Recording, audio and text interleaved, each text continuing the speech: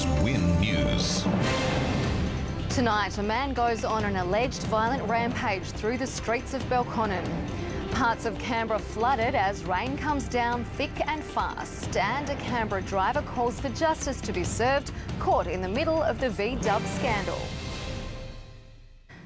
Good evening, I'm Amy Duggan. A Canberra man is tonight behind bars, accused of wielding a machete through the streets of Belconnen, cutting the throat of a woman and injuring a taxi driver. Win News reporter Mia Glover has the details. It was here on Chandler Street that Imran Hakimi allegedly went on a violent rampage last night, damaging vehicles and injuring two people. The 32 year old was allegedly armed with a 40 centimetre machete. It's alleged Hakimi opened the passenger door of a Toyota Corolla being driven by a woman before jumping inside the vehicle and cutting her throat. The woman managed to escape and run away. Several minutes after, Hakimi allegedly stopped a passing taxi taxi, striking the bonnet, yelling, I have lost my kids, I will stab you. The 32 year old allegedly struck the cab driver with the knife, cutting his chin. Two passengers in the taxi then allegedly got out and restrained Hakimi to the ground until police arrived. Today, the prosecutor told the ACT Magistrates Court Hakimi resisted arrest and screamed at police, telling them he wanted to be shot. Hakimi's lawyer told the court his client doesn't remember the alleged incidents, admitting he was under the influence of alcohol at the time. Magistrate Karen Fryar refused bail, telling the court he would be a risk to the community. Hakimi is due to undergo a psychiatric assessment before fronting court again at the end of the month. Mia Glover there. Close to 14 mils of rain fell in parts of Canberra in the space of an hour today during the lunchtime rush.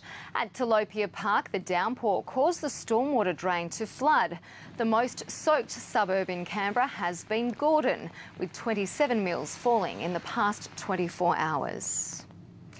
New South Wales Premier Mike Baird is supportive of Canberra's push for international flights, according to Chief Minister Andrew Barr. New South Wales recognise uh, the importance uh, of this as a, as a boost to tourism in the Canberra region. He says Canberra is stepping up its case for flights to more destinations, but ultimately it's a commercial decision for airlines. Our pitch to the airlines is more than just the 400,000 people who are inside the territory. Uh, it's the broader region, and that, that broader catchment makes our case. The Chief Minister says a number of airlines have shown interest in flying internationally from Canberra. A Canberran caught up in the Volkswagen emissions cheating scandal says he wants justice to be served. Michael Ward is among more than 10,000 Australians taking part in a class action against the car maker, hoping to receive compensation. Next on Win News, is your sleep affecting your driving? And in sport, cricket hopefuls battle it out for a rookie contract with the Sydney Thunder.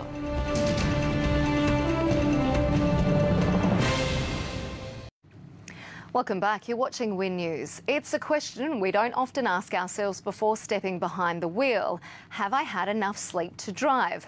Researchers are now looking at ways to answer that very question with a new study to see how sleep affects road safety. To sport now, and the Socceroos have got their World Cup hopes back on track easily, accounting for Kyrgyzstan 3 0 at Canberra Stadium. More than 19,000 fans flooded through the gates, and they weren't disappointed. Skipper Mile Jedinak putting the Socceroos in front through a penalty just before half time. Tim Cahill found the back of the net early in the second. Mooy against on the ball. Here's Tim Cahill.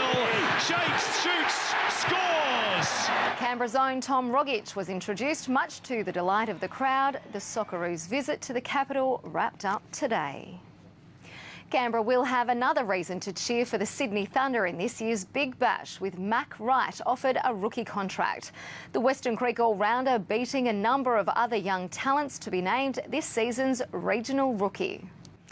And the Raiders have re-signed centre BJ Leilua until the end of 2018. That wraps up our sports. Stay with us. Hannah has all the weekend weather details next.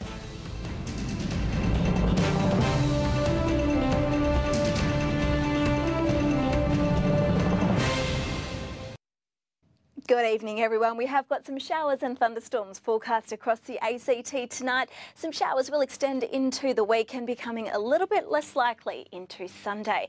Today for Sydney side is a warm day with 29 degrees, 21 for Ulladulla, uh, 22 around Batemans Bay and Moruya today, and 23 for Bega and Merimbula. For the Snowy Mountains, those temperatures, as you can see, were around the mid-teens, so 13 for Thredbo, 22 in Cooma today, and for Canberra, 21 degrees was your top. So we've got this region of low pressure across western parts of the state helping to trigger some showers and storms that will continue across the ACT and most of eastern New South Wales tonight.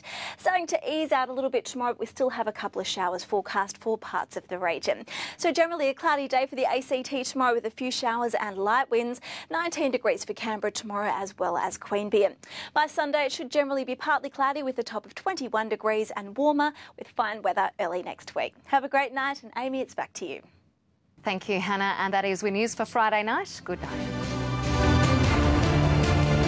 This has been a Win News presentation. Win News, Regional Australia's number one news source.